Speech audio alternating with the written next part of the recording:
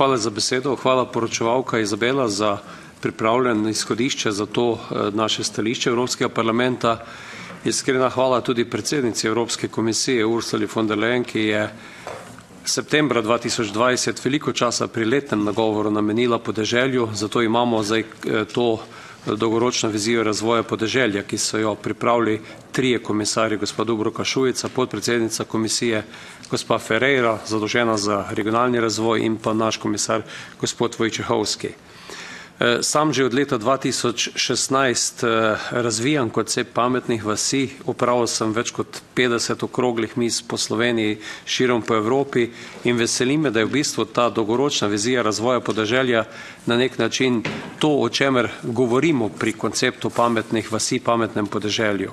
Vsi ugotavljamo, da je za podeželje ključna poseljenost, da ljudje ostanejo, da živijo na podeželju Če hočemo, da bodo živeli na podeželju, rabimo kvalitetno infrastrukturo, komunalno, okoljsko, zdravstveno, socialno, kulturno in pa seveda rabimo kvalitetne široko poslovne povezave.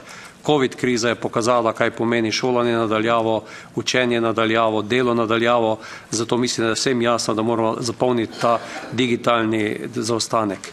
Poleg infrastrukture so pomembna delovna mesta, na podeželju so delovna mesta tako v kmetijstvu, gozdarstvu, bioekonomiji, turizmu na podeželju, malih, srednje velikih podjetjih, priložnosti v energetskem sektorju, skrb za starejše, e-zdravje, mobilnost na podeželju. To je tisto, kar moramo zagotoviti.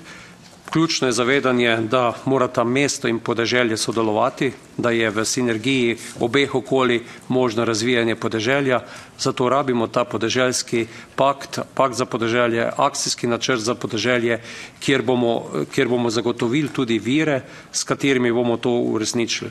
Ključno je, da poleg kmetijske politike ostali skladi sodelujejo, to je veliko pomankanje, sam sem vložil predlog, da bi iz regionalnega slada šlo 5% za razvoj podeželja. V parlamentu smo to sprejeli, v trialogu je izpadlo. Zanimivo, da so za urbana področja pa se strukturni sklad iz regionalnega sklada povečal iz 5 na 8%. Zato od besed k dejanjem.